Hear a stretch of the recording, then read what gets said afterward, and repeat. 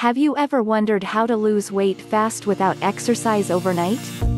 Do you have the determination to lose weight and stick with it?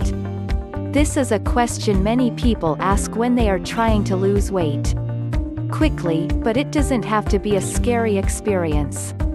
How to lose weight fast is a lot easier than most people think. When I was trying to lose weight, I found out that there are easy ways to make this happen. And I'm about to show you them. If you want to lose weight, then you need to do what it takes and make a commitment. Now don't get me wrong. There are a lot of people who don't make these commitments. But it's possible. If you want to know how to lose weight fast without exercise overnight, then I hope that watching this till end will give you some ideas. Before going forward hit subscribe button and press bell icon for notification of every upcoming video. Begin. The first tip I'm going to share with you is that you don't need to starve yourself in order to lose weight. You can eat the foods that you want and still lose weight. The problem is, most people don't understand how to go about it. One thing you can do is to eat several smaller meals throughout the day. Instead of having a good healthy meal every single day. Eating smaller meals allows your body to burn fat more efficiently. Another easy tip for how to lose weight fast without exercise is to drink more water. Most people don't realize this, but water is one of the most important things to your body. And you don't want to be depriving yourself of the basic requirements of life.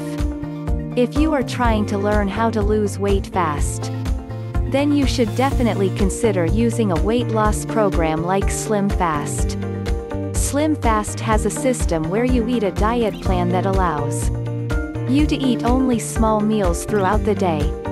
Once you eat those, you can then use a liquid supplement every other day to help you increase your metabolism and help you burn more fat. If you don't eat a lot of food, you can still use liquid supplements in order to burn fat faster and increase your metabolism.